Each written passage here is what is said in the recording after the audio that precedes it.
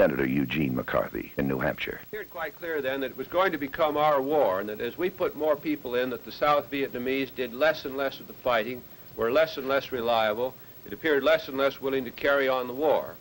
It was almost certain then that if, if we continue this, that we would have on our hands a great dependency, and that the South Vietnamese would be less willing to negotiate some kind of settlement because they would say the United States is committed. I don't feel that the administration is really prepared to negotiate a compromise that what they are speaking about when they say they're willing to negotiate is to negotiate the terms of surrender.